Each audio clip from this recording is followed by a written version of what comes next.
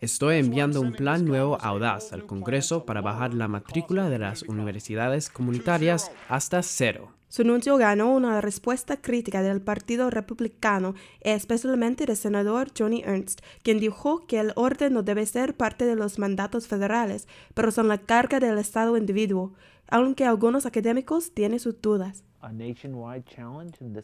Es un reto nacional y él quiere tratarlo de una forma valiente. Respeto las habilidades de los estados para resolver este problema, pero quizás es un problema más grave de lo que cada estado individual puede controlar.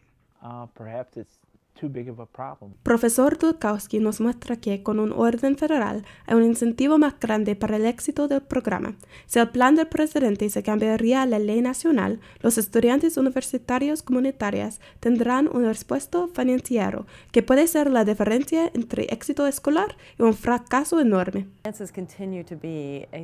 Finanzas siguen siendo un obstáculo enorme para estudiantes. La tendencia que vemos es que los estudiantes tienen que soportar a sus familias financieramente además de sus estudios y nuestro sistema de ayuda financiera no acomoda eso. Hay una suposición que los estudiantes tienen familias con los recursos para ayudarlos. Y hoy día con nuestra economía no es tan simple. Pero White dice que necesitamos saber más.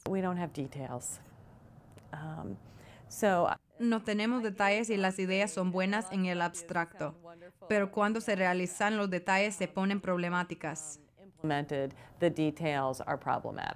Pero el punto central que necesitamos recordar es que el plan del presidente solo va a afectar el costo de matrícula y no las otras necesidades como alojamiento y comida.